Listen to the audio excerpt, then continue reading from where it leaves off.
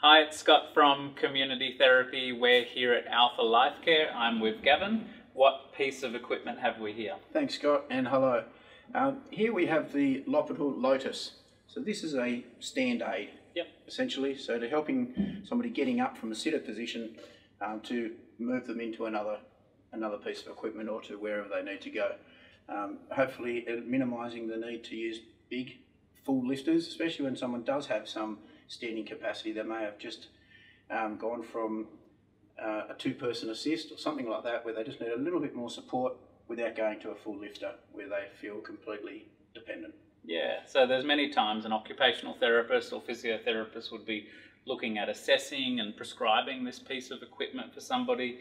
Like you said, somebody's struggling with their transfers, they may be living with a physical or neurological condition that's um, meaning that their strength or balance or mobility um, has declined. They still have the ability, however, to pull up.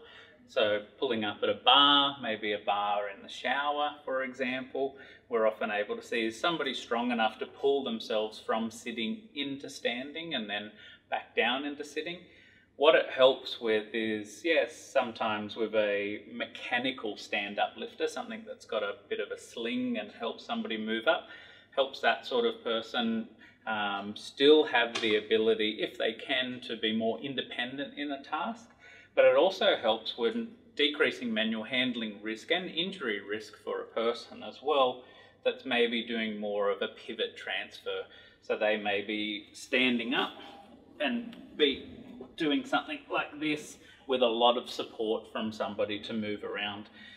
Doing that repeatedly, especially if that's a carer or support worker or loved one helping somebody, can be quite dangerous in terms of things like skin tears to somebody, especially if it's an older adult with frail skin, all the way through to increasing the risk of manual handling um, injuries for workers, support workers, carers, and obviously increasing the risk of a fall happening at some stage if somebody loses their balance. So there's some of the times that we'll be looking at this piece of equipment. So importantly, one of the main considerations here, especially in the home environment, if there's carpet, different flooring surfaces, is we like to see how this moves over the home um, flooring and that's why a trial of the equipment is typically recommended.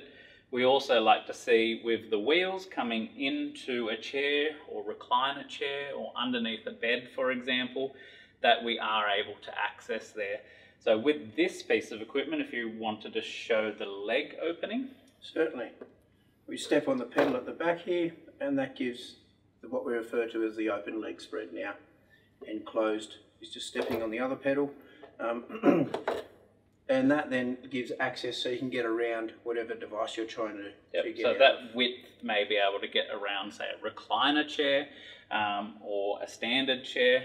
Sometimes we'll close that if we're needing to get under maybe a bed and the frame's a little bit closer. So having that ability to open and close the legs is a really important um, adjustment um, for this piece of equipment. What I like about this uh, piece of equipment is that there's not much to it in terms of, um, I think a lot of the times with equipment, we're quite used to electronics and all different things. Yeah.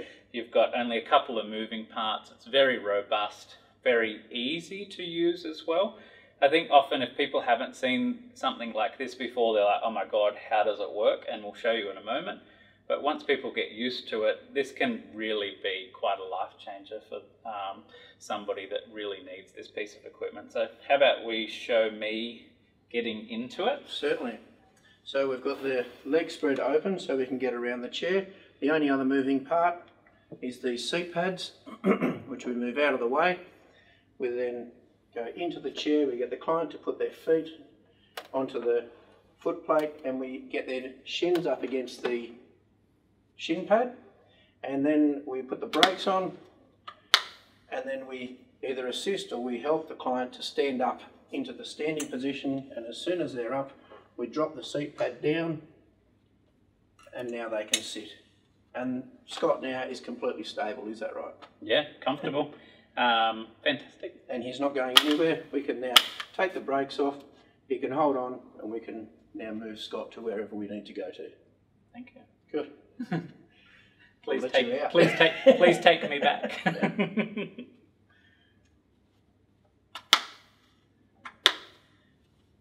And standing up.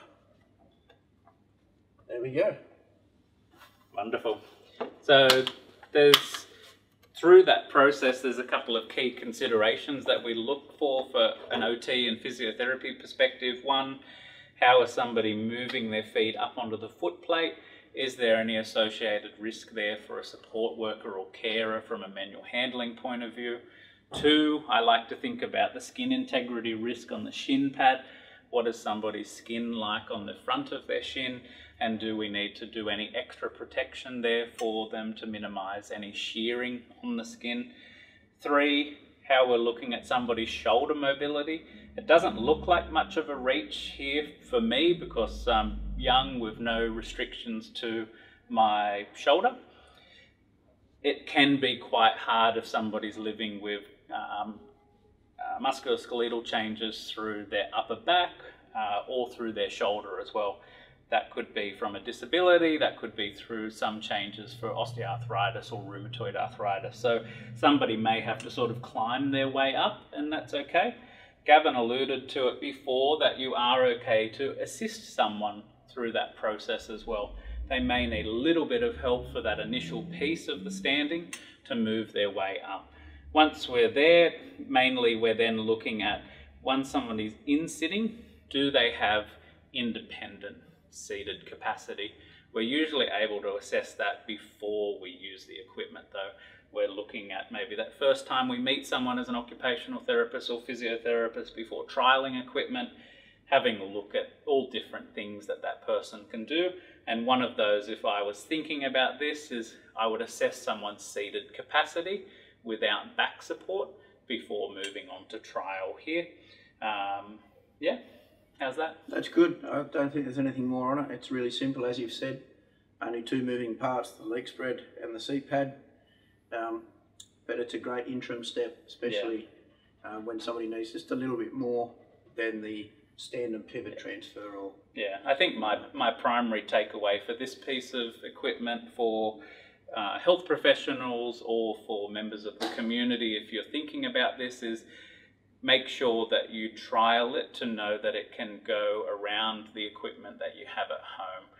Often the only problem we run into here is some models have fixed legs and they're actually quite narrow and people purchase that without an appropriate trial or advice from equipment supplier or allied health professional and find themselves with that at home not being able to get it under a recliner or bed or chair. So seek the appropriate advice for these pieces of equipment because you might find that you've purchased something that um, was not suitable for your needs as well. That's good. Yeah, it's an important point. The trials and uh, allied health Yeah. um, professional advice is certainly a great thing Yeah. not to going wrong. Wonderful. Thanks so much for your time listening to this video. If you've got any questions, please reach out and we'll see you on the next one.